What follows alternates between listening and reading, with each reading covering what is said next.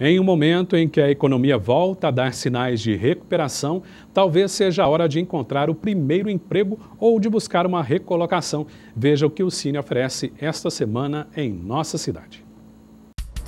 As vagas são para assistente comercial, encarregado de limpeza, ajudante de cozinha e de restaurante, analista de TI, assistente administrativo,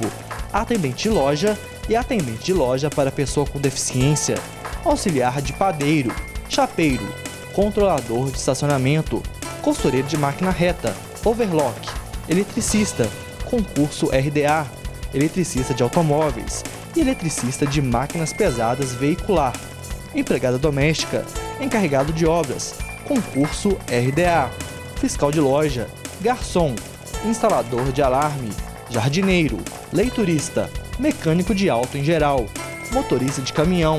motorista operador de MUNC, recepcionista de hotel, técnico de instalação de TV e internet, técnico em silvicultura, vendedor interno e vendedor racista. O Cine funciona junto ao AI, a Unidade de Atendimento Integrado Minas Cidadão, no Via Café, das 8 da manhã às 5 da tarde. O candidato deve apresentar carteira de trabalho, identidade e CPF.